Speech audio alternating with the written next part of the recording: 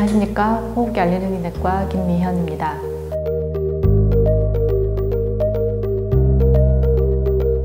암의 진행 정도를 병기라고 합니다.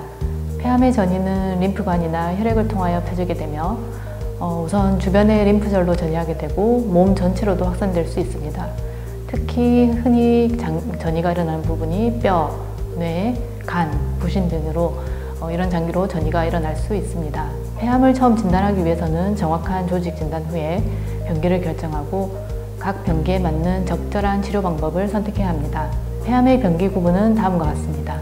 폐암은 현미경으로 들여다본 세포의 크기에 따라 비소세포 폐암과 소세포 폐암으로 나누고 비소세포 폐암은 1에서 4기로 병기가 구분되지만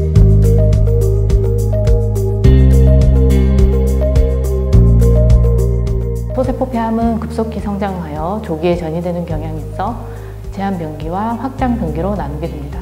비소세포 폐암 1, 2기는 수술을 시행하고 어, 비교적 서서히 진행하므로 조기 발견 시 수술로 완치가 가능합니다. 추가적으로 수술 결과에 따라 항암 치료나 방사선 치료가 필요할 수도 있습니다. 3기는 환자들마다 치료 방법이 매우 다양합니다. 위치나 형태도 다양해서 치료 전략도 매우 다양한데요. 수술에서부터 항암 치료, 방사선 치료까지 들어가는 경우가 많습니다. 4기는 수술이 어려운 상황으로 항암 치료를 하게 됩니다. 요즘에는 면역 치료, 표적 치료제, 그리고 기존의 세포 독성 화학요법 이런 세 가지로 구분해서 치료 전략을 다양하게 짜고 있습니다. 소세포 폐암은 악성도가 높고 빨리 자라는 암으로 항암 치료와 방사선 치료에 효과가 높습니다. 초기에 임파선까지 전이가 되지 않은 일부 환자의 경우만 수술이 가능하고 대부분 환자들은 기본적으로 항암 치료를 받습니다. 폐암의 수술적 치료는 크게 네 가지 방법으로 시행되게 됩니다. 한쪽 폐 전체를 절제해야 폐암을 전부 제거할 수 있을 때는 한쪽 폐 전부를 절제해내는 전폐 절제술을 시행하게 됩니다. 폐엽 절제술은 폐의 한 엽을 제거하는 수술 방법으로 암이 폐의 한 엽에 국한되어 있을 때 시행할 수 있는 수술 방법입니다.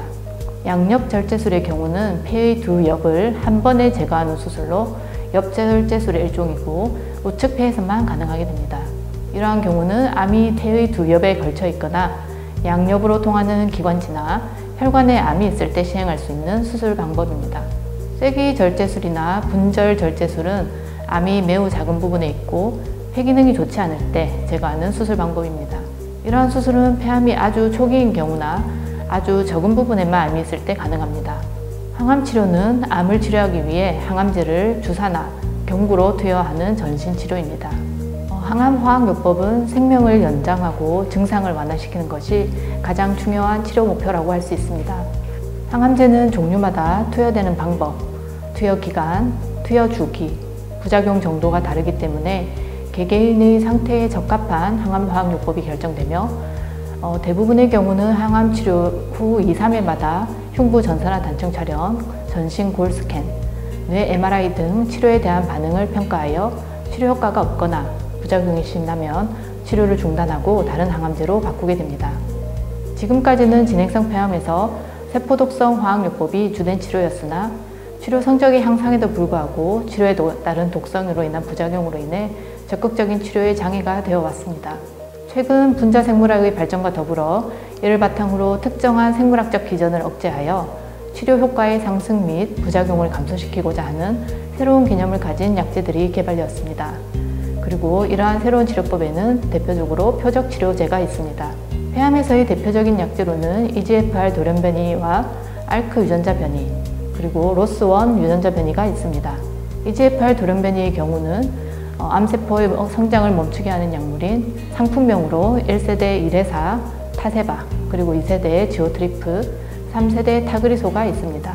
EGFR 돌연변이 억제제를 사용하다 내성이 생겨 병이 진행하는 경우에는 재조직 검사 또는 혈액 생검을 통하여 T790M이라고 하는 내성 유전자 변형이 확인되면 3세대 약물인 타그리소를 어, 사용할 수가 있습니다.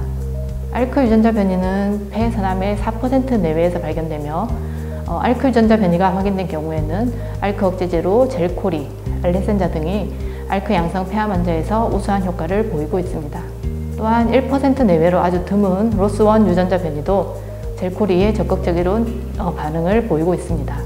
암세포가 생겨난 초기에는 우리 몸의 면역 체계가 암세포를 인지하고 공격하지만 시간이 지나면서 암세포는 PDL1이라는 표면 단백질을 만들어내어 면역세포가 암세포를 인식할 수 없도록 하게 됩니다. 면역 관문 억제제는 이 PDL1이라는 표면 단백질을 무력화시켜 면역세포가 암세포를 정확히 인지하고 공격할 수 있도록 하는 치료제입니다. 우리 몸의 면역 체계를 활용하여 암세포를 치료하기 때문에 기존의 세포 독성 항암제보다 부작용이 적어 고령 환자에게도 사용이 가능하며 효과 지속 시간이 길다는 장점이 있습니다. 앞서 말씀드린 유전자 변이가 없는 전이성 비소세포폐암 환자에서는 PD-L1의 발현 여부에 따라 키트루다, 티쎈트릭, 옵디보 등을 고려하기도 합니다. 분자 표적 치료제 및 면역 관문 억제제는 무작위 환자에게 쓰일 경우 반드시 좋은 결과를 얻지는 못합니다. 적절한 환자의 선정이 매우 중요하며 이를 위하여 조직 검사에서 얻은 검체를 이용하여 분자 유전학 검사를 함께 시행하고 있습니다. 어, 방사선 치료는 고에너지의 방사선을 환자 몸 밖에서 여러 방향으로 암 조직에 직접 쏘아 치료하는 암치료법입니다. 방사선은 정상 조직보다 암세포에 더 큰 타격을 주는 속성이 있으며 또한 여러 방향에서 암세포만 선량을 집중하므로 정상 조직 손상을 최소화하면서 암세포만 효과적으로 죽이거나 또는 증식을 억제시킬 수 있습니다. 방사선 치료를 결정하더라도 바로 시작되지는 않습니다. 실제 치료를 위하여 치료 부위와 방법을 결정하기 위한 모의 치료, 시뮬레이션이라는 작업과 치료 계획을 시행해야 합니다. 환자의 상태와 전이 여부, 정도에 따라 방사선 종양학 전문의의 판단에 따라서 방사선 양이나 치료 횟수, 기간 등이 정해지며 어, 일반적으로는 하루에 한 번, 일주일에 5회씩 시행하여 약 5주에서 7주 정도의 치료 기간이 소요됩니다.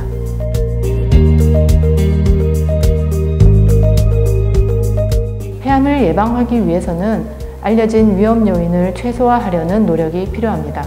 제일 중요한 것이 금연이며 간접 흡연도 가능한 하지 않도록 노력해야 합니다. 흡연은 폐암의 강력한 위험 요인이므로 금연으로 폐암의 90%를 예방할 수 있습니다. 또한 작업장에서는 안전보호구를 착용하여 작업장 유해 물질의 노출을 최소화할 수 있도록 합니다. 그리고 평상시 신선한 야채와 과일을 충분히 섭취하고 균형 잡힌 식사를 합니다. 균형 있는 영양 섭취는 체내 대사 작용과 신체 기능을 활성화하여 건강한 생활을 유지할 수 있도록 합니다. 감사합니다.